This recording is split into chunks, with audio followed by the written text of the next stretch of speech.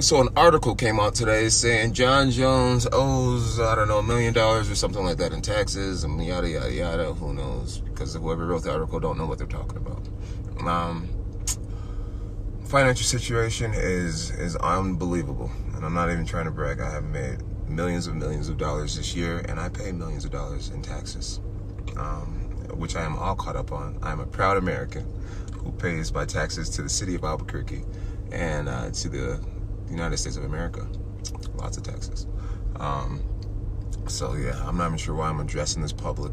I don't need people walking around thinking I don't got money and I can't afford to pay the government. That is, that could be further from the truth.